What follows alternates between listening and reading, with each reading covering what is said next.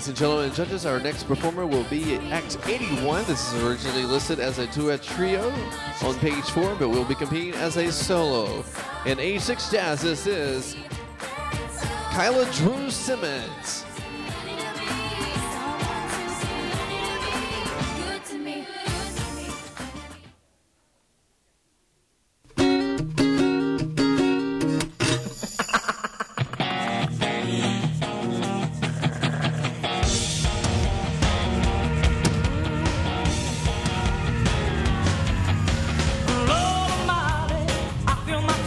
what you are.